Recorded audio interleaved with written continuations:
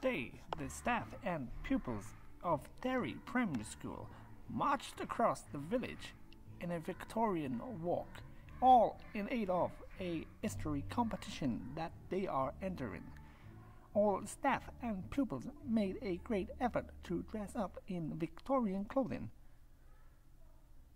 They headed south towards St. Peter's Church, then back across the village towards Glendaru and the rugby field, culminating with a walk back to Deri Primary School. The weather stayed kind and it was a fantastic morning.